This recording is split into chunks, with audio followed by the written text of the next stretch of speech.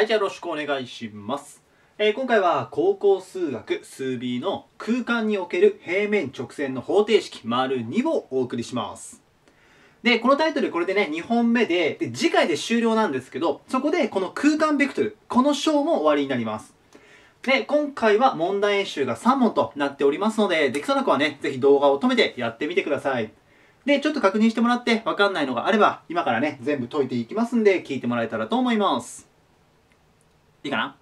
ほんじゃ、早速ね、まず1番から解いていきますので、どうぞよろしくお願いします。おし、じゃあ行きましょう。で、このね、空間ベクトル勉強していく中で、すごい俺が連呼していきましたけど、あの、平面ベクトルの時にやったよね、みたいな。で、これも全く同じです。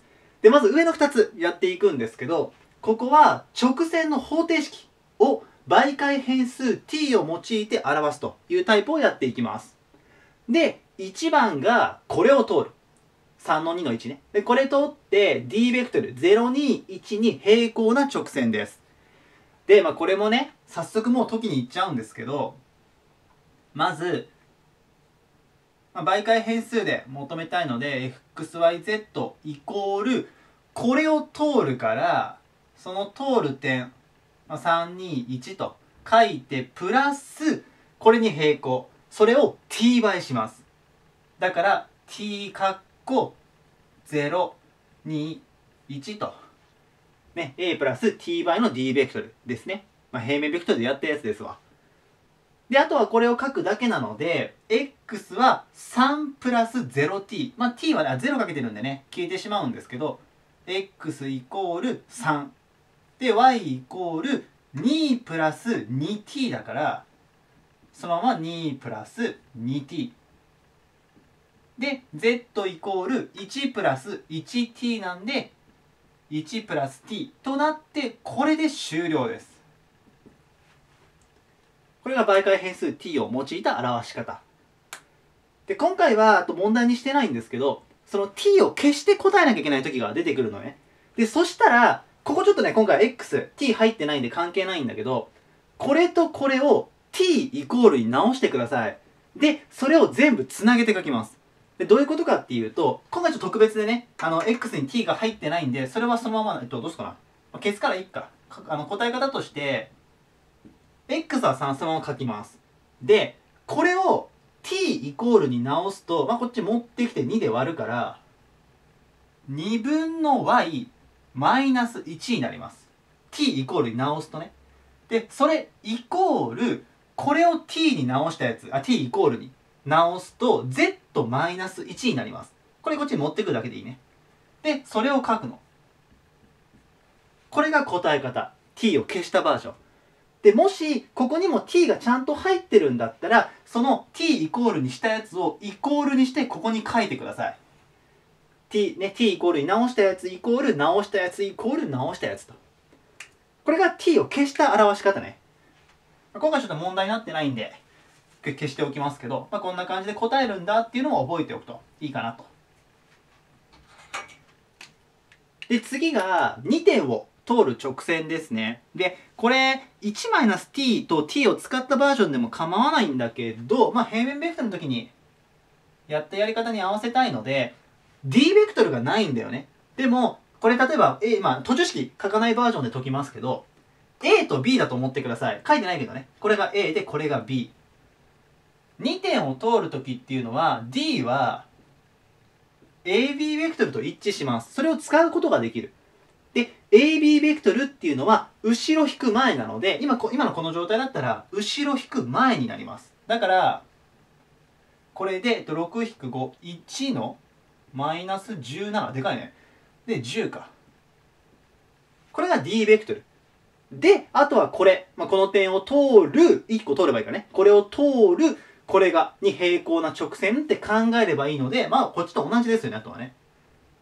だから、xyz イコール、まあ、これを通るって考えて、5の8のマイナス7プラス、これに平行だから、t 倍の1のマイナス17の10と。こっちと同じね。もうやってることは。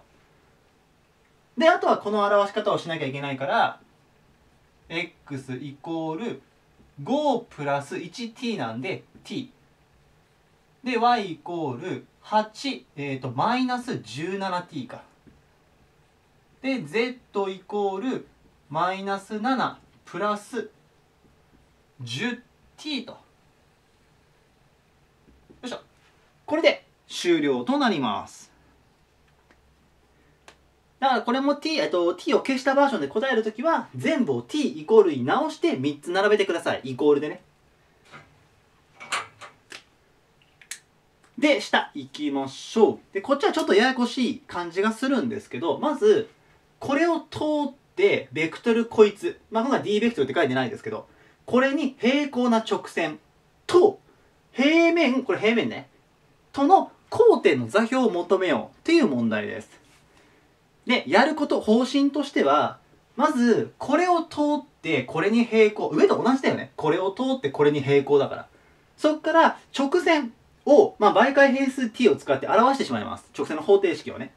先にちょっとやっちゃおうか。その分やると、xyz イコール2のマイナス1の3でしょ？プラス t 倍のこれだから t 倍の5の2のマイナス2となる。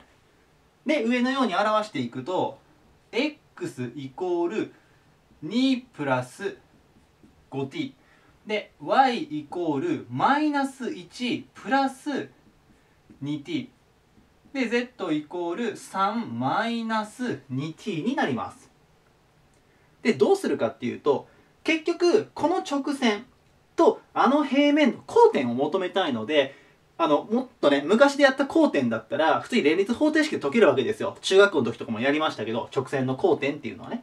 で、まあ直線と平面ですけど、結局連立というか、代入することができるので、これを全部 XYZ に代入します。この平面のとこに。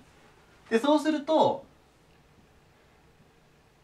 いきまこうか。x が2プラス 5t なので、2プラス 5t でマイナス2かっこ y がこれだからマイナス1プラス 2t で z はプラスそのままだけど一応書くか。プラス z が3マイナス 2t で忘れずにマイナス4を書くと。であとこれ展開して t イコールを解きます。で暗算いけっかな。ちょっと頑張るか。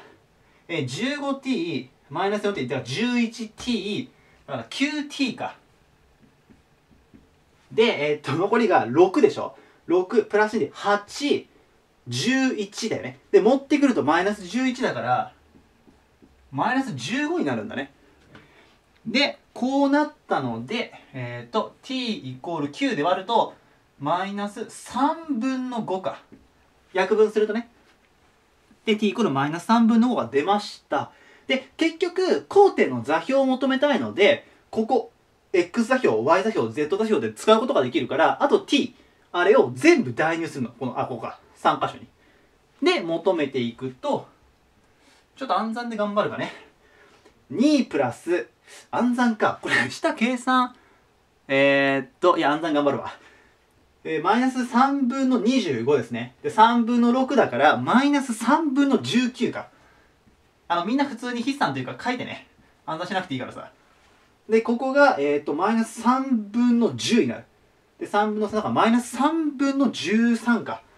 マイナス3分の13。で、ラスト。プラスに変わって3分の10。で、3分の9だから、プラスの3分の19と。これでさっき解いたのと同じなら、あ、OK だね。